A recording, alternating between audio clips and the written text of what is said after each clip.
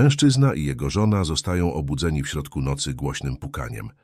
Mąż wstaje i podchodzi do drzwi, gdzie nieznajomy, stojąc w ulewnym deszczu, prosi, żeby go popchnąć. Mężczyzna mówi, Nie ma szans, jest trzecia nad ranem. zatrzaskuje drzwi i wraca do łóżka. Żona pyta, Kto to był? Jakiś facet prosił, żeby go popchnąć. Pomogłeś mu? Nie, jest środek nocy i leje jak z cebra. Krótką masz pamięć. Czy nie pamiętasz, jak trzy miesiące temu padł nam samochód? Jak dwóch facetów nam pomogło?